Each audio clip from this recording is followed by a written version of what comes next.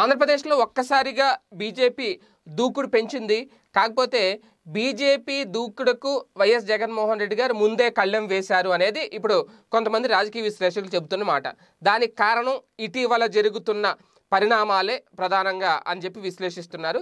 అయితే వాటిలో కొన్నింటిని చూసుకుంటే ప్రధానంగా ఈ మూడు రాజధానుల ఏర్పాటు అంశం అనేది అన్ని పార్టీల్లో ఒక రకంగా చాలా పెద్ద చిచ్చే పెట్టింది అనుకోవాలి ఎప్పుడైతే ప్రాంతాల అభివృద్ధి అనే అంశాన్ని తెర మీదకు తీసుకొచ్చారో అభివృద్ధి విద- వికేంద్రీకరణ అనే అంశాన్ని ఖచ్చితంగా ఏ పార్టీ కూడా వ్యతిరేకించలేని పరిస్థితి. ఒకవేళ పార్టీ హైకమాండ్ ఒక స్టాండ్ తీసుకున్నా సరే పార్టీలో ప్రాంతాల వారీగా ఉన్న నేతలు ఆ స్టాండ్కి కట్టుబడి ఉండాలా వద్దా అనేది నిజంగా అతిపెద్ద మేమాంశే సో ఇటువంటి పరిస్థితుల్లో జగన్మోహన్ రెడ్డి గారు వేసిన స్టెప్ మూడు రాజధానుల నిర్ణయం అనేది నిజంగా అన్ని ప్రాంతాల పార్టీల నేతల్ని కూడా ఒక్కసారిగా ముక్కును వేలేసుకునేలాగా పరిస్థితి తీసుకొచ్చింది అయితే. అయితే ఇక్కడ భారతీయ జనతా పార్టీ ఆంధ్రప్రదేశ్లో ఇప్పుడు ఇమ్మీడియట్గా బలోపేతం అవ్వాల్సిన అవసరం వచ్చింది అనేది. ఎందుకంటే రేపొద్దున కేంద్రంలో ఆల్రెడీ అధికారంలో ఉన్న నేపథ్యంలో కేంద్రంలో మరింత బలోపేతం కావాలి అంటే ఎన్డీఏ పాలన ఎన్డీఏతర పాలనలు పెరిగిపోతున్న నేపథ్యంలో అవి తగ్గించుకోవాలి అంటే రాష్ట్రాల్లో కూడా పట్టు సాధించాలి అనేది. కనీసం అధికారంలోకి రాకపోయినా ప్రధాన ప్రతిపక్ష హోదాలోకైనా రావాలి.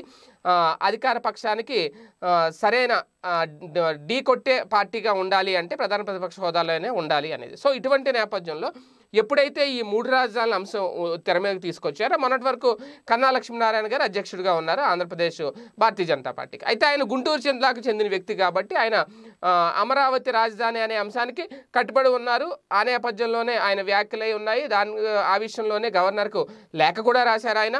ఆ, బిల్లులు ఆమోదించొద్దు అని చెప్పి ఓకే అది సంచలనంగా మారింది. తర్వాత ఆయన పదవి నుంచి తప్పుకోవడం తర్వాత తూర్పుగోదావరి జిల్లాకు చెందిన సోమవీర్రాజు గారు ఆ పదవిని అలంకరించడం అయితే ఇదే నేపథ్యంలో ఈ తూర్పుగోదావరి జిల్లాకు చెందిన వ్యక్తి కాబట్టి ఈ రాజధాని అంశానికి సంబంధించి అమరావతి విషయంలో పెద్దగా పోరాడట్లేదా అంటే ఆయన ఫైనల్గా కేంద్రం నిర్ణయమే మా నిర్ణయం అని చెప్పి తేల్చి చెప్పేశారు అదే టైంలో ఈ అవినీతి అనేది ఏదైతే ఉందో అంటే అమరావతి రాజధాని సమయంలో ఏ అవినీతి జరిగిందో ఈ మూడు రాజధాని విషయంలో అవినీతి జరిగినా దాని మీద కూడా పోరాడతాం ఖచ్చితంగా అనేది. అంటే వీళ్ళు ముందు నుంచి బీజేపీ తీసుకున్న స్టాండ్ కర్నూలులో ఖచ్చితంగా హైకోర్టు ఏర్పాటు చేయాలి.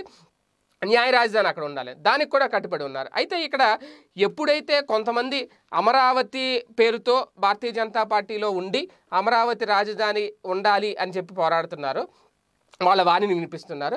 మరొక వర్గం అయితే మాత్రం కేంద్రం తీసుకున్న నిర్ణయానికి కట్టుబడి ఉన్నాము. రాజధాని అనేది పూర్తిగా రాష్ట్ర పరిధిలోని అంశం రాష్ట్ర ప్రభుత్వం పరిధిలోని అంశం.